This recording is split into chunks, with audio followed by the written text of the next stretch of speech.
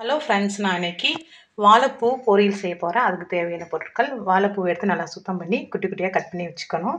துவரம் பருப்பு ஒரு இருபத்தஞ்சி கிராம் எடுத்து ஊற போட்டு வச்சுக்கணும். காஞ்ச மிளகா நான் ஒன்று எடுத்திருக்கேன். எங்கள் மிளகாய் வந்து ரொம்ப காரமாக இருக்கும். உங்கள் காரத்துக்கு தகுந்த மாதிரி நீங்கள் எடுத்துக்கோங்க. தேவையான அளவு உப்பு கால் டீஸ்பூன் மஞ்சள் தூள் தேங்காய் ஜீரகம் ஒரு கால் டீஸ்பூன். இது எல்லாத்தையும் தண்ணி ஊற்றி கொர கொரன்னு அரைச்சிக்கணும். பாருங்கள் கொர கொரன்னு அரைச்சி எடுத்து வந்துட்டேன். ஒரு பிளேட்டில் எண்ணெய் தடவிட்டு இந்த வாழைப்பூ போட்டுட்டு அரைத்து விழுத போட்டு கலந்து விடணும். இப்போ பாருங்கள் நான் நல்லா கலந்து விட்டுட்டேன். இதை வந்து குக்கரில் வச்சு வேக வச்சுக்கணும். பாருங்கள் நல்லா வெந்துருச்சு. இதை வந்து நல்லா எடுத்து விடணும்.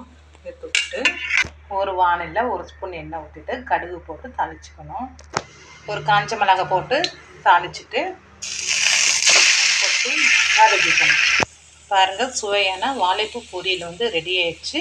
சேலம் குக்கிங் டைம் சேனலை like share comment and subscribe பண்ணுங்கள் தேங்க்யூ ஃபேன்ஸ்